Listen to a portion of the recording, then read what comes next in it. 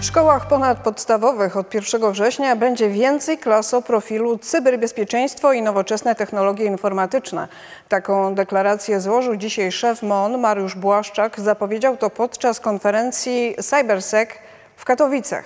Dziś drugi dzień największego w Europie wydarzenia poświęconego cyberbezpieczeństwu. Paweł Jędrusik. To wszystko w ramach tak zwanego programu Cybermil z klasą, który w formie eksperymentu pedagogicznego tworzy i prowadzi w szkołach klasy o profilu cyberbezpieczeństwa. Na razie takich szkół jest 16, po jednej w każdym województwie. Zaczęliśmy od młodzieży, zaczęliśmy od programu Cybermil z klasą.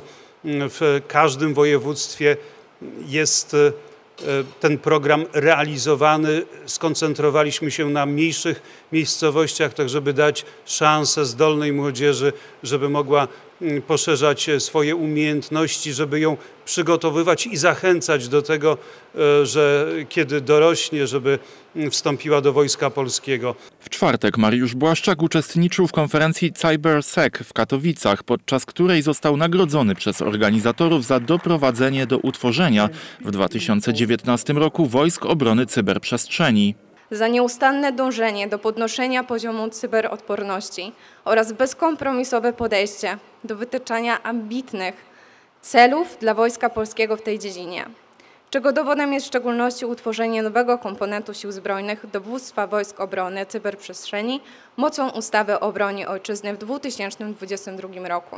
Forum CyberSec w Katowicach trwa od wczoraj. W jego trakcie prelegenci rozmawiają o wszelkich aspektach cyberbezpieczeństwa. To m.in. tematy związane z wykorzystaniem technologii podczas wojny czy zwiększaniu odporności sektora finansowego.